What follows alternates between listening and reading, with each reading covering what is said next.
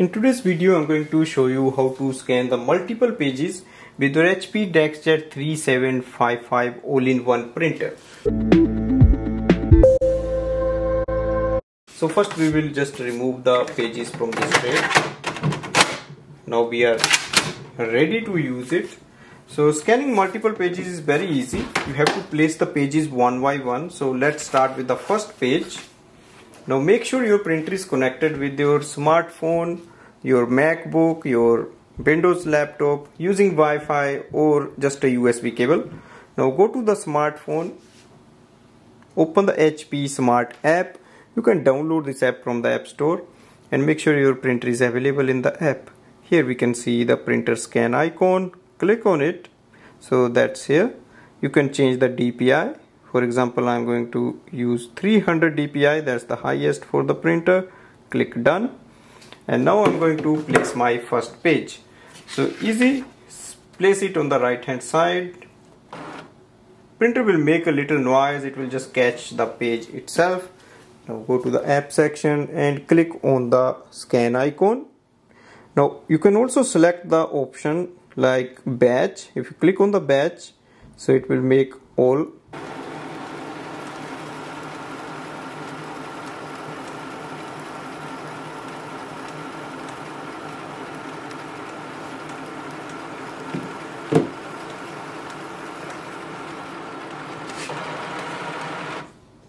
that's our first page. Now place the second page. Go to the main screen and click on the scan again. So it's scanning the second page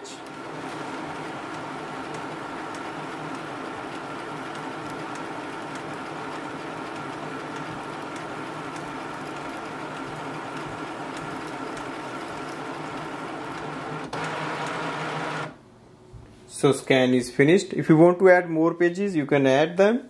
If you are done simply click on the icon.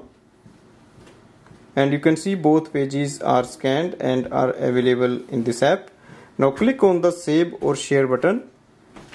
On the next page you can give a name to your file. We can give a name to the file. And you can also select the file type like basic PDF and then click on the save button. On the next screen you can email it or you can whatsapp you can save to hp smart app.